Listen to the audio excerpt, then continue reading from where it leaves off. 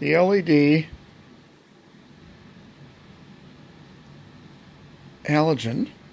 And here, if you look at the beam pattern up here, you can see the halogen dims further, but this is pretty darn acceptable.